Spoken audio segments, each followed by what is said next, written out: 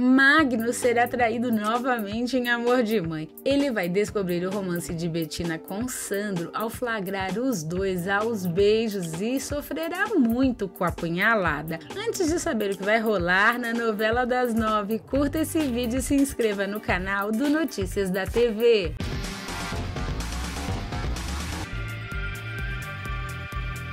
Antes de ver com os próprios olhos que a fila andou rapidinho para Betina, Magno vai afirmar que seu relacionamento com a herdeira da PWA não tem mais volta. No entanto, Lourdes vai ter certeza de que é melhor Sandro conversar com o frentista sobre o romance dele com a ex-enfermeira. Ela vai aconselhar o filho de Raul a abrir seu coração para evitar mágoas.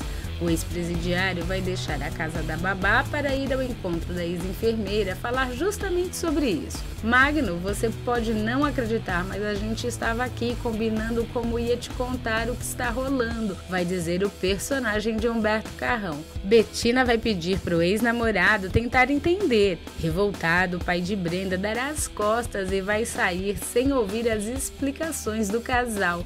O filho de Vitória vai pedir ajuda a Rian para esclarecer o assunto. Ele vai conseguir conversar com o ex-irmão dias depois e o primogênito de Lourdes vai se dedicar ao trabalho para esquecer sua dor de cotovelo. Ele vai comprar uma oficina mecânica no fictício bairro do Passeio para virar o próprio patrão. A cena está prevista para ir ao ar na próxima terça-feira, dia 17 de março. E aí, você acha que Magno vai superar isso? Comente aqui no vídeo. Para saber os detalhes da sua novela favorita, se inscreva no canal e ative as notificações do Notícias da TV.